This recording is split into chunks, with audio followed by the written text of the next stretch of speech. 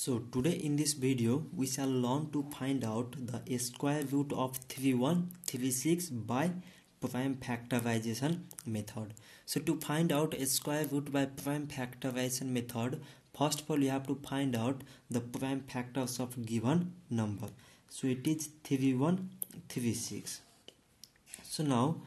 we can divide it by 2. So 2 times 1 means 2 remaining is 1 so 1 1 11 so 2 times 5 means 10 so again the remaining is 1 so 1 3 13 so 2 times 6 means 12 and again remaining is 1 so 1 6 16 so 2 times 8 means 16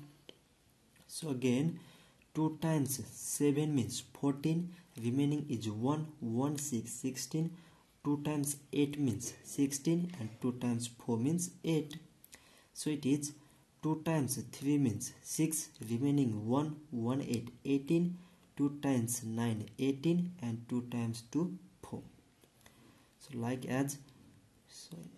2 times 1 means it is 2 remaining 1 1 9 19 2 times 9 means 18 remaining 1 1 2 12 2 times 6 means it is 12 so now it is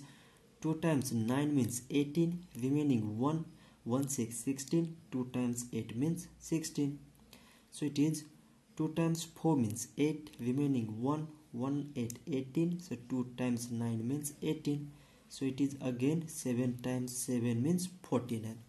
so we have find out the prime factors of 3136 so now we shall find a square root. So a square root of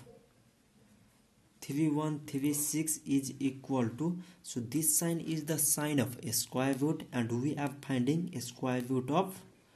3136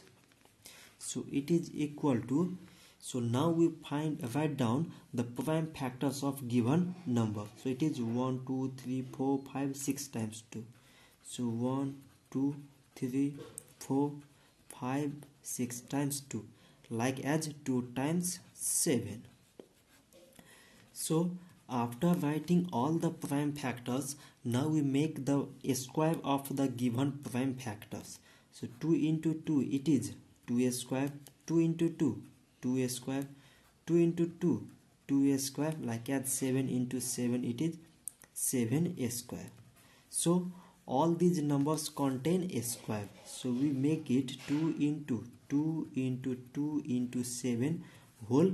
square so we have taken here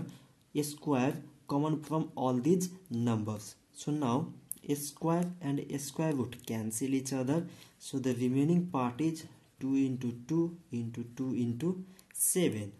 so 2 times 2 means 4 4 times 2 means 8 8 times 7 means it is 56 so therefore the square root of 3136 is equal to 56 so this much for today and if you have any question related to math and science then just comment your question in a comment below and we shall provide a video solution of your questions. So thank you